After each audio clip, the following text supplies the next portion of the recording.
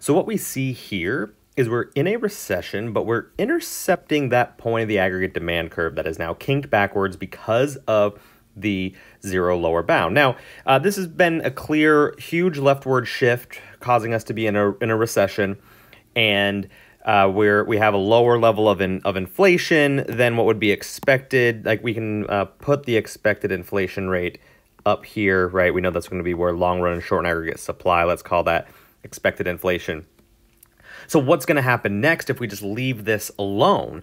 Well, remember, if we're in this recession, right? We're in this recession, we know that slack is going to develop in the labor market. And if that slack develops, there's going to be downward pressure on wages and prices, which is going to lead to lower inflation expectations. And we're going to see that downward shift of the short run aggregate supply. And usually, that downward shift of the short run aggregate supply is going to help us self correct.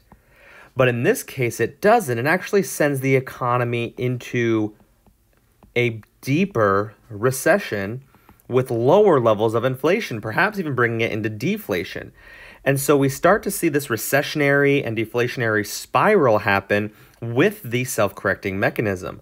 So we need to figure out a way right? So how are we going to either shift this aggregate demand curve back to the right or kind of keep short run aggregate supply up and not have this self-correcting mechanism and that's what we're going to talk about through the rest of this lesson when we talk about non-conventional policies that will help with this type of situation at the zero lower bound.